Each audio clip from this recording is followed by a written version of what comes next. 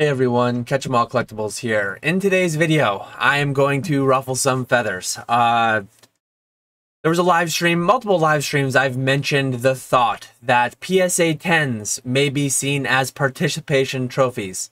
Essentially, there are some cards that grade at such a high 10 rate. It's essentially meaningless. The only thing it means is that you decided to send that card into PSA. Uh, modern printing quality on certain cards in certain sets is so high that a 10 just becomes meaningless at PSA because they grade too easy. And in this video, I'm going to break down just one ultra modern example of a pretty bulletproof card, a card that grades very, very high, and show you CGC versus PSA versus BGS. And I'm going to talk about the future potential PSA might have of having to reckon with this issue that almost every card is just a PSA 10 in certain instances. Before people jump on me, feel free to jump on me in the comments though. Let me know what you think. Uh, by no means am I calling uh, Neo Genesis Slowking a participation trophy PSA 10. By no means am I calling a mid-era vintage, even even some newer sets. I mean, Gold Star Greninja, that is not our participation trophy level 10 because I mean, I have hundreds myself. I pre-graded across probably 50 of them to grab five to grade, and I got like one or two tens on my most recent batch. So some cards, PSA's 10 is difficult enough due to the inherent poor uh, production standards. And, and we've been seeing it more. Is Pokemon doing this? I mean, I, I don't have a tinfoil, tinfoil fedora like Cardinal Gaming does, but if I did, I'd pop it on. Is Pokemon or are some of these manufacturers intentionally lowering condition so that there's some kind of a chase, some kind of an exclusivity to the higher quality cards. I don't think that's the case. I think they're just making so much money, churning out so much product that they don't need to care for quality because the consumers are still buying it faster they, than they can produce it. I think that's the most reasonable. That is our Occam's razor outcome. So anyways, let's get right into it. We have an Eevee PSA 10 Nagaba and I sold three copies so far at 70 bucks. So let, us look at the, the pop report for this as well. So Eevee Yu Nagaba, 1148.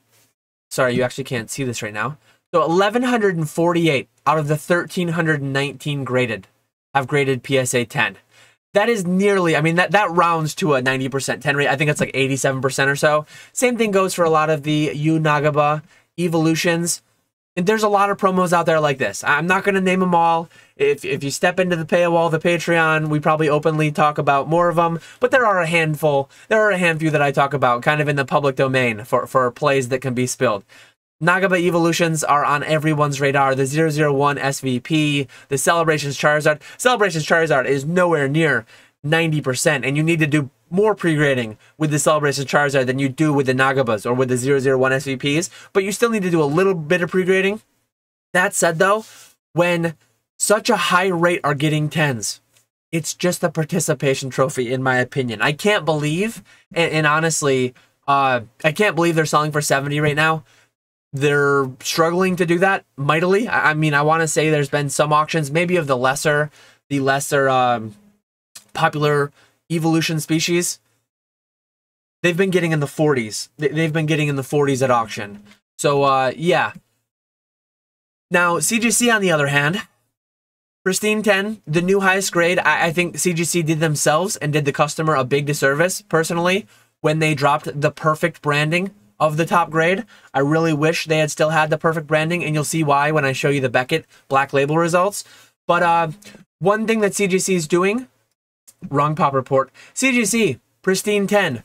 Less than half, about 50%, let's say, about 50% of cards that are being graded. And again, you can't blindly send and expect to get this. You can't blindly send and expect to get 90%. Open your eyes, look at them for at least five seconds, just like the PSA graders do, the BGS, the CGC graders do. Pre-grade them for five seconds before the grader grades them for five seconds, and ensure you're not sending one with like major issues. But overall, you can you can reasonably expect with light pre-grading to get 90% PSA 10s and then sell for it sell it for 70 bucks. I mean, they're selling slowly for 70 bucks. I would expect by the end of summer, I truly expect these to be $40 PSA 10s. The packs right now are somewhere between 15 and 25. I haven't paid close attention recently. The grading takes 3 months and costs $15. But uh yeah, I mean look at look at this copy right here. This is how easy PSA grades. Look at how thin that left is, how thick that right is. I think a lot of people grade harsher. They pre-grade themselves harsher than PSA grades. And th this is one thing that I've heard people say. I've heard people say people send the best of the best cards to PSA. I send the worst of the worst. I mean, I don't send ones that I know will be nines, but I send my better ones. I actually send my better ones, like with Nagaba Evolutions. I had, I had a hundred of each card. I had a 100 plus Eevees, a 100 plus Espeons, 100 plus Umbreons, maybe a little bit less on the Umbreons because they got mapped.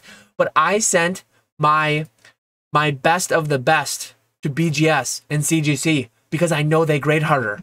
I sent my easy ones. If they were off center at all, they went to PSA because they give 10s easily, even on off center cards. I mean, you can't get crazy with it. Again, it's not actually free 10s, but it's it's as close to a participation trophy as you can get out of the three main graders for Pokemon. So continuing on, I don't like how eBay does this, but this is an actual sold listing. Uh, it did not sell for 618. If you look on eBay, it looks as if it does. A person messaged me saying, "Hey, will you take 500?" I said yes, and I sent them the offer for 500. They accepted and paid. So this actually sold for 500, but you can see where the market clearly I'm one thing I'm not getting into in this video is how replicable and how real these grades are. That's a different conversation entirely. A lot of people probably know my opinion on that, but only 11.4% of Eevees, 10 out of 88 so far, have gotten black labels. Clearly, the market cares about having a more exclusive grade, and PSA just doesn't offer it.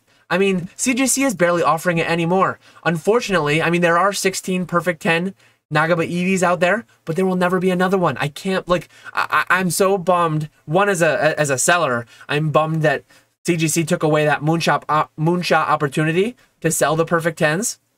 And then two, like, as a consumer, if you're actually seeking, barring how replicable replicable it may or may not be, barring how valid the measurement might be. If you're seeking to get a top 10 percentile, 20 percentile card, PSA just doesn't do it for you. They they give the trophy, they give the 10 to everyone who submits to them within reason, 90%.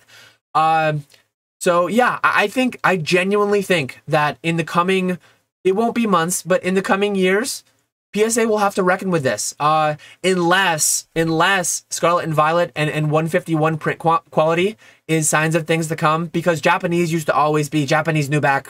Oh, close your eyes and send it, and you'll get a 10 almost every time.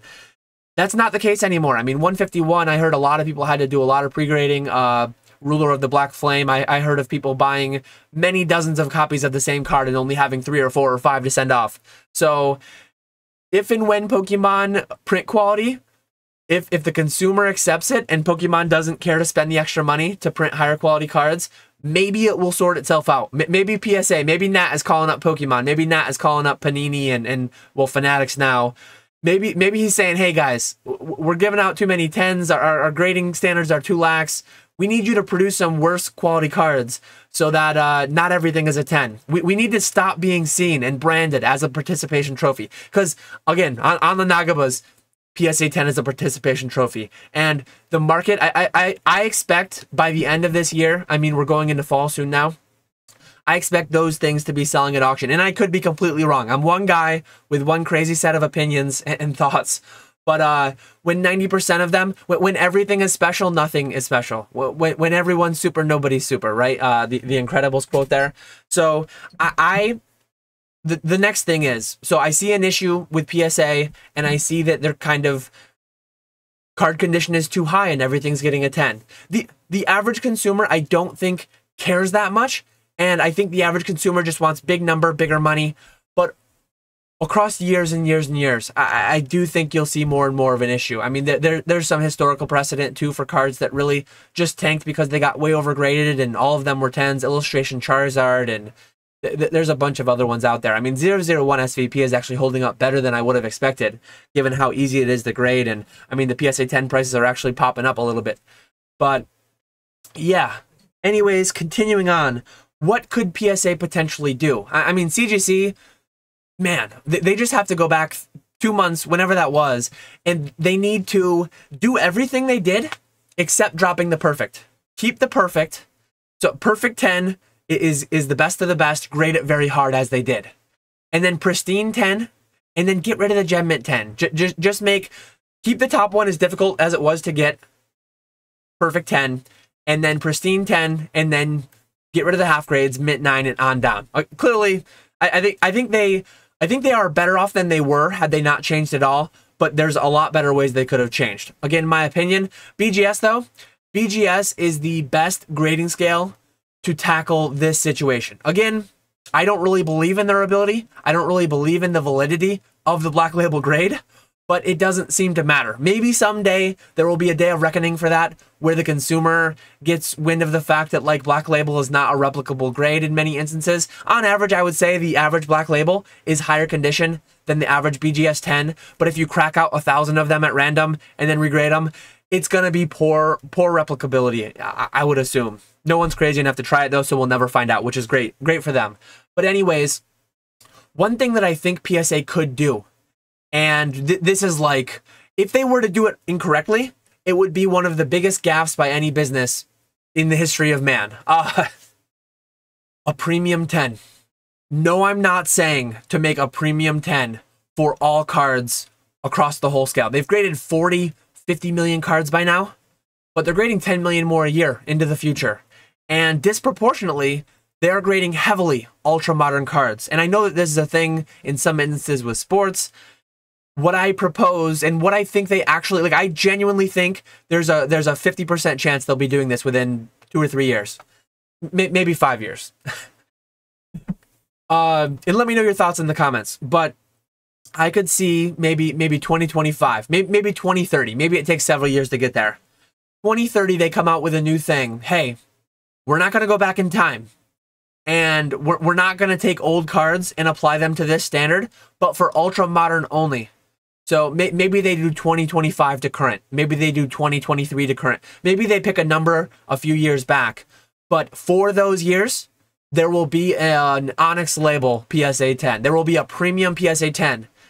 And that would allow them to not just give 90% 10 rates. That would allow them to do like, hey, 10% of the cards are going to get this exclusive, kind of like the MBA sticker, kind of like whatever these different third party secondary authenticators are doing to show you the best of the best. If PSA were to do that, I think if, if they were to do that universally and say that all your Gem Mint 10 Watsies, all your Gem Mint 10 Fleer 86 rookies, all your Gem Mint 10, that, that would be the worst business decision ever made. But if they did it for ultra modern only, like I think there's actually precedent for this. I, I don't know if PCGS does it, who is PCGS is the coin equivalent of PSA. They are under the collector's holdings umbrella. NGC, I'm pretty sure does. And I don't know how it's working out. Maybe the market's rejecting it, and maybe I'm crazy for even proposing this.